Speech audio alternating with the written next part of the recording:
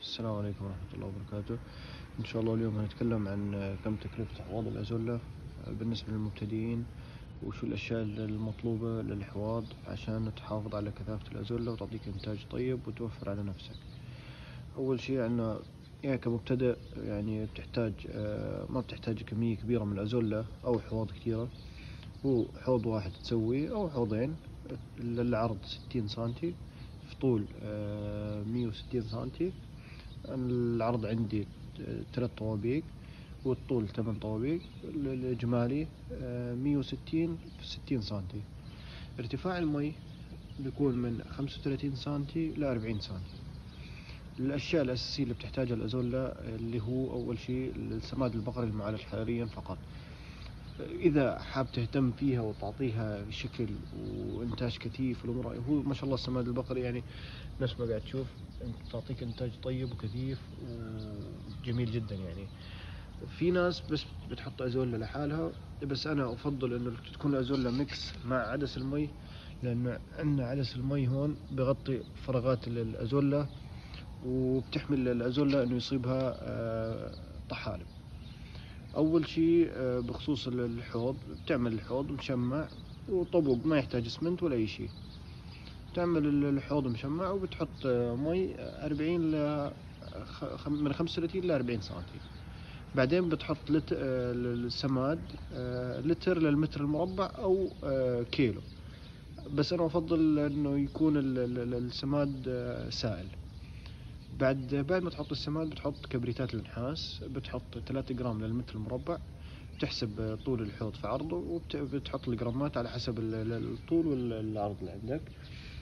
بعدين بتحط الأزول عادي فترة اللي هي الأسبوع أول أسبوع ما بتحصد بالازولة ولا بتعطي الحلال ولا أي شيء بسبب كبريتات النحاس لأنه في زي سموم بتأثر على الحلال وممكن تصيب تصيبهم بمشاكل معوية.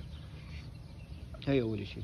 الحين أنا الحوض اللي عندي 60 سم في 160 آه، طول وعرض 60 بيعطيني إنتاج آه، آه، إنتاج تقريبا من 3 ل 4 كيلو كل 3 أيام. الأزولة ما شاء الله يعني في الإنتاج سريعة جدا وما ما بتأخذ وقت.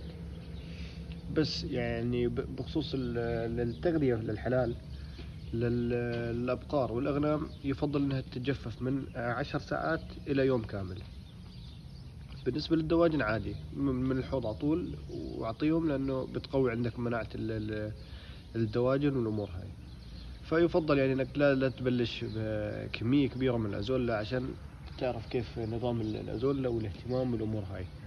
لأنه طبعا لو دخلت في, في الكميات الكبيرة ممكن تخسر. فأنت بتتجنب الخسارة. الحواض تقريبا كلها كلفتني الحوضين 200 درهم فقط. بإمكانك تزيد الحواض مع الأيام بس توصل للخبرة اللي الكافية إنك يعني تهتم في الأزولة لأنه الأزولة جبت جدا نبتة حساسة وإذا ما أعطيتها الاهتمام الكافي ما بتعطيك إنتاج طيب. فعشان الإنتاج الطيب لازم رعاية ممتازة. و يعني بعد ما تزرعها أول أسبوع بتشوف الإنتاج على طول بدأ يزيد. لو تراكمت الأزولة بتسبب عندنا مشاكل إنه المساحة فبتصير تطلع الأزولة فوق بعضها الأزولة اللي تحت بتصير تموت. فإحنا بدنا نتجنب هالأشياء ونصير نحصد على السريع. الحين هذا الحوض أنا زارعه تقريبا من أسبوع. الحوض الثاني برضه من أسبوع بس ما فيه اهتمام كافي. شوف الفراغات شوف معظم الفراغات اللي موجودة عدس المي مش الأزولة هذا الحوض أنا مسويه بال NPK 20 20 20 هالحوض بالسماد البقري المعالج حراريا. شوف فرق الاحواض فعشان هيك أنا أفضل انه السماد البقري المعالج حراريا هو يكون الاعتماد الكلي عليه للازوله تعطيه غذاء الغذاء الازوله هو يعني أكثر شيء مناسب.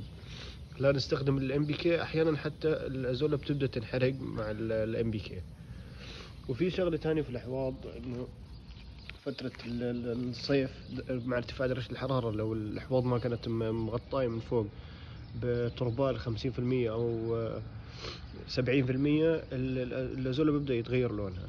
السبب إنه الازوله من تحت بتحاول تتأقلم على درجة الحرارة. فيفضل انه تكون الازوله مغطايه من فوق عشان آه، بتحافظ على لونها وكل شيء. هي يعني وبرضه في مشاكل اللي هي الحشرات اللي بتواجه معظم ال- اللي عندهم ازولا إنه بيطلع لهم حشرات في في الاحواض فبتاكل جذور الازولا وبتموتها فبإمكانك تستخدم المبيد الحشري آه، ثلاثة برضو ثلاثة جرام للمتر المربع أو ثلاثة ملي لل- للمتر المربع. وعشان تعطيها لون وقوة جذور عندك الحديد المخلبي والعناصر الصغرى. يعني بس يعني يفضل إذا بتستخدم سماد بقري معلش حراري لا تستخدم أي شيء من ال- ال- اللي ذكرته. وبالنسبة لل- للأدوية والأشياء هاي إن شاء الله ببعث لكم إياها بالتفصيل على الجروب بإذن الله.